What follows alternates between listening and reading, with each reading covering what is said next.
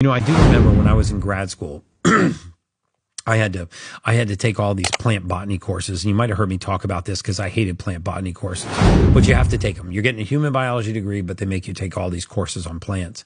And I'll never forget that whenever anything was wrong in the leaf or the trunk or uh, the branches of a tree, if you were to actually call a true botanist, a true arborist out to your house, and you had a palm leaf that was decaying, they wouldn't touch the leaf.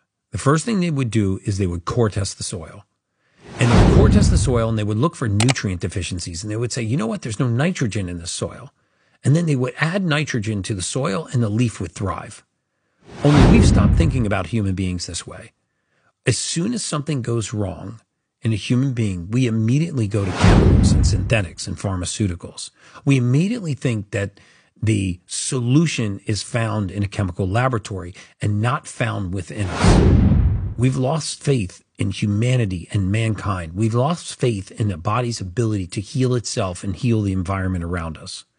Well, now science is catching up and the science is dictating otherwise. The science says when you find the missing raw material in a human body and you put that material back in, it begins to thrive in ways we never imagined possible.